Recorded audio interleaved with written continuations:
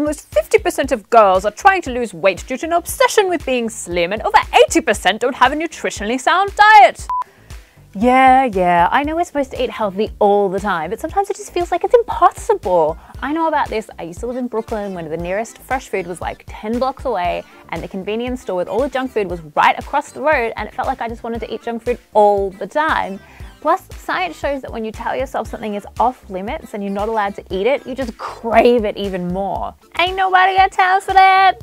Here are my nutrition hacks so you can get all the nutrients you need and live a healthy lifestyle. Okay, so the two things that girls don't usually get enough of are fiber and protein. There's no fiber or protein in most convenience foods and they're the hardest, so let's focus on these. Fiber is awesome because it stops you from feeling blocked up and sluggish. High fiber foods include things like fruit and veggies and whole grains, or if you're completely lazy like me and you don't have time for that stuff, you can try a fiber supplement, protein. Protein is so important because it helps you build beautiful hair, clear skin, and strong muscles so you can kick ass. Cool, so now you got your fiber and your protein sorted. Now you need to figure out what your weak link is. Mine was buying candy. If I had a dollar, I would buy a candy bar with it. So think about what your weak link is.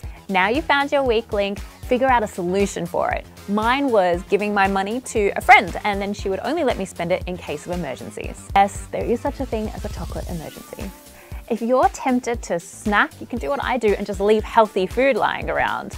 I always buy a huge bag of apples and leave them in my room, and because I'm essentially lazy, I will eat an apple instead of going out for pizza.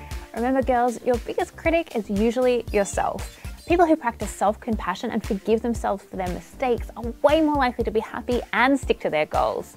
If you find you've accidentally eaten an entire bag of Reese's Pieces, don't beat yourself up about it. You could do better tomorrow. That negative voice in your head, she's never gonna give you good advice. Now, it might feel like people are gonna like you better if you could just lose those last few pounds, but seriously, a report in the Journal of Personality and Social Psychology found what we kind of always knew, that after a few weeks of knowing someone, looks don't really matter all that much. It's your personality that decides if someone's gonna like you or not. So girls, choose what you eat for yourself and no one else.